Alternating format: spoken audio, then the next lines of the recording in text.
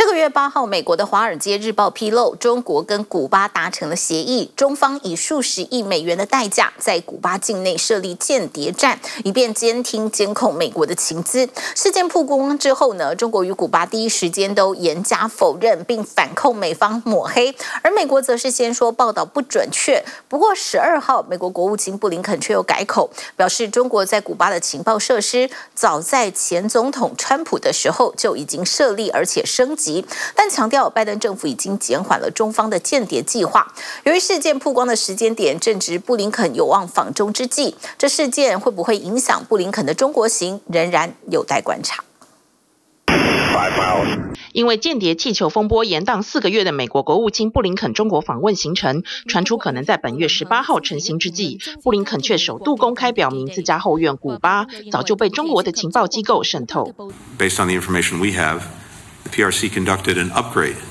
of its intelligence collection facilities in Cuba in 2019. 这间接证实了美国《华尔街日报》本月八号率先披露的消息，也就是中方计划以数十亿美元作为代价，与古巴达成秘密协议，在距离佛罗里达州仅一百六十公里左右的古巴境内设立间谍基地，来窃听美方的电子通讯，并且监控军舰进出情况。鉴于当前美国与中国正处在激烈竞争状态，这个可能在古巴设立的中方间谍站，立刻让外界联想到冷战期间苏联一九六二年在古巴设立核弹头所引发的飞弹危机。Si se sabe que durante muchos años de la Guerra Fría la Unión Soviética mantuvo una base en Cuba cerca de La Habana para espiar contra los Estados Unidos. 分析更坦言，过去美国借由亚太地区的驻军长期监控中方军事动向，但中国始终无法在美洲插旗。如果报道中的间谍站果真在古巴设立，那势必对当前中美竞争局势带来巨大改变。Because what's in it for Cuba, right?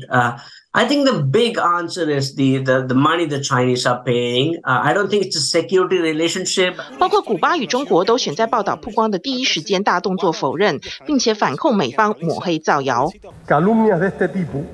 se han fabricado con frecuencia por funcionarios de los Estados Unidos.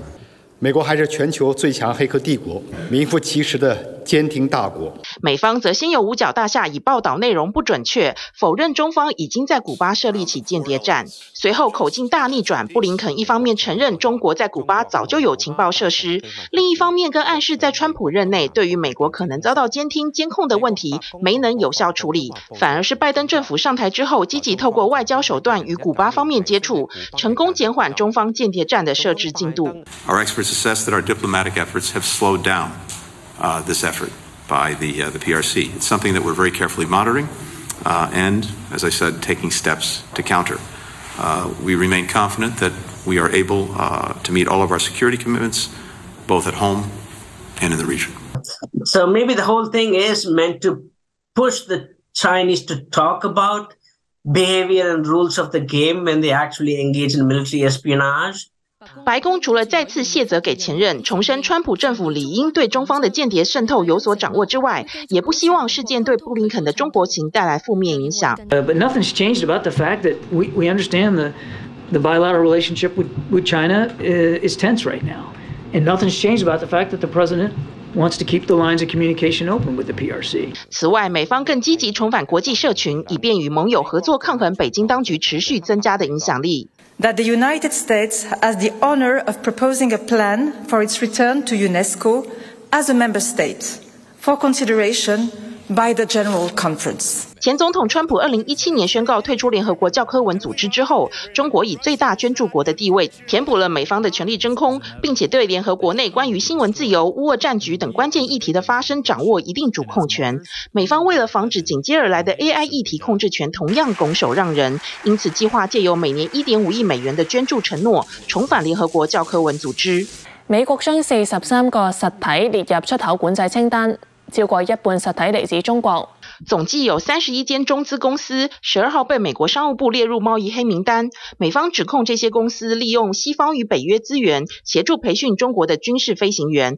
或者协助中方开发高超音速武器，对美国国家安全带来威胁。在制裁与间谍战等阴影之下，布林肯的中国访问能否成行？北京当局至今仍拒绝证实。TVBS 新闻综合报道。